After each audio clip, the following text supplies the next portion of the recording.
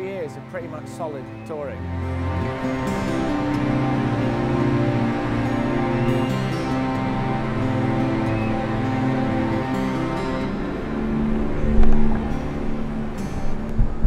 It's a very kind of hobo traveling kind of thing that you end up doing because I mean, I, I, spend very little time at home. Uh, I've got friends that I think are pretty sure that I'm dead. I do get texts at least once a week, someone saying, Are you still alive? To which I respond, No. Yeah, no, it's, it's a very strange way of surviving, but uh, I absolutely love it. And I love buses. I actually, I find I sleep better on a bus than anywhere else in the world. I sleep better on buses than I do in beds. I'm just kind of kind of used to it now. When a tour bus first appeared, I was like, whoa, it was like being given your own planet. It's incredible.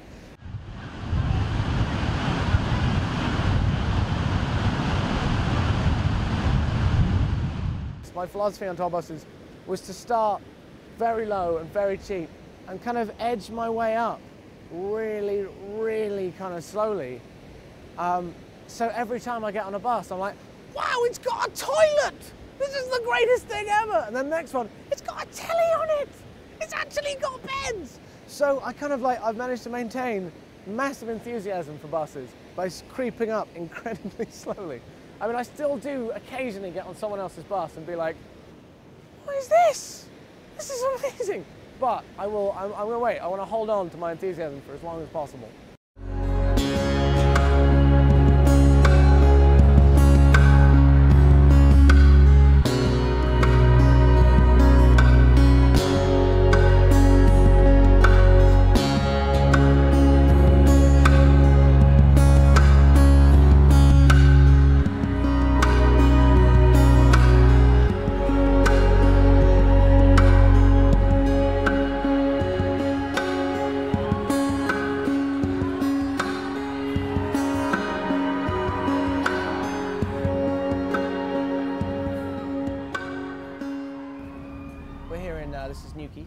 So this is my, I think I'm halfway through about, I think I've got over 20 festivals.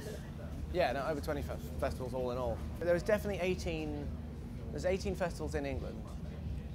Uh, and then I did like a whole bunch in Australia, did some stuff over there.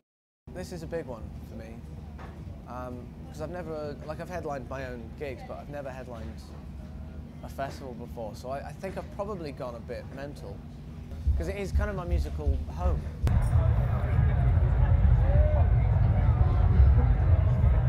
Occasionally, like you get thrown kind of wild card gigs, um, and the Cornish one was definitely one of them because I was down in Truro. I was supporting Donavon Frankenreiter. Off the back of that, I did a whole a whole tour, which was ridiculous.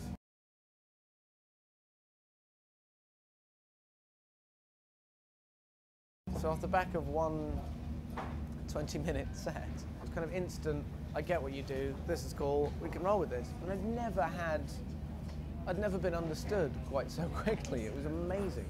So this is, yeah, I owe, I owe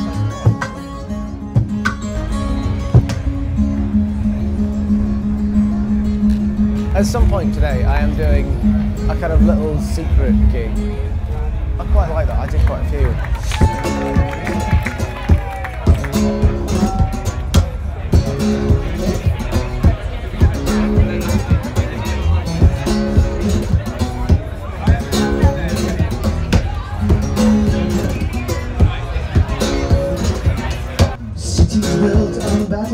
Battlefields and shopping malls from meadows or rivers green there there's no red those animals. I take a little time to find a place away from all the noise and the drinking or we could run away we'll find a day that watching us do the same what a inside what a hide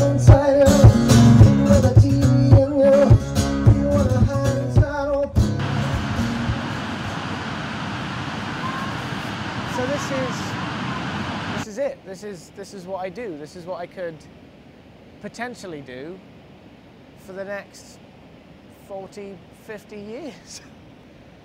In like kind of two and a half, maybe three years, I could maybe take like a couple of months. But until then, it is kind of, it's very predetermined.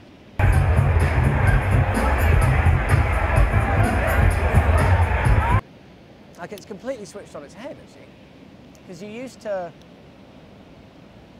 yeah, you used to tour to promote albums and he'd make money off the albums and lose money touring.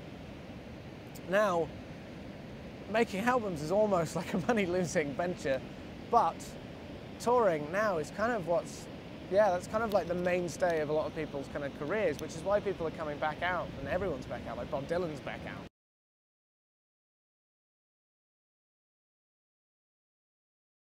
Ray Davies is still gigging. Iggy Pop's still out. Tom Waits is still going. I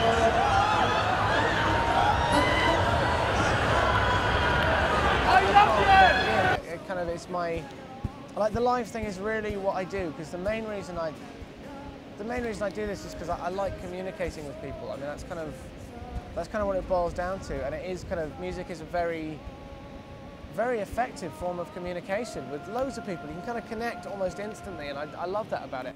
There's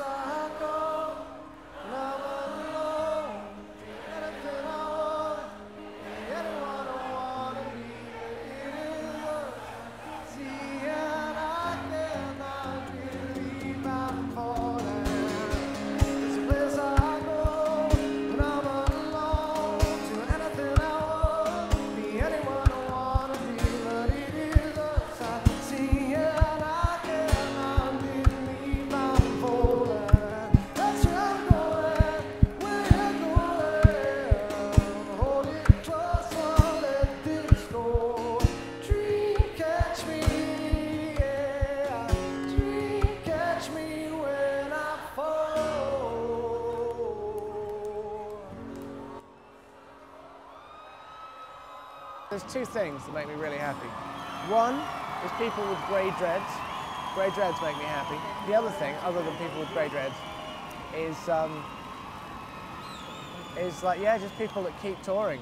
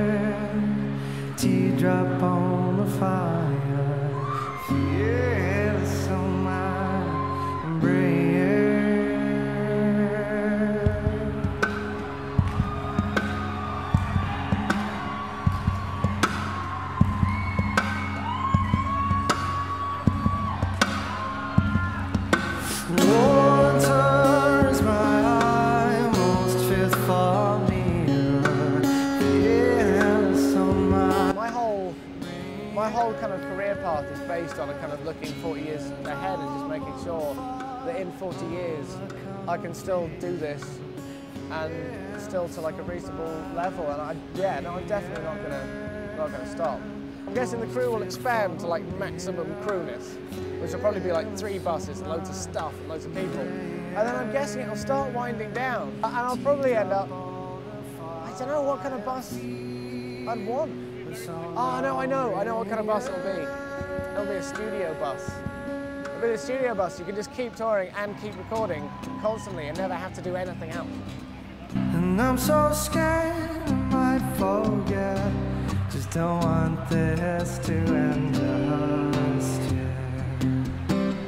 Not just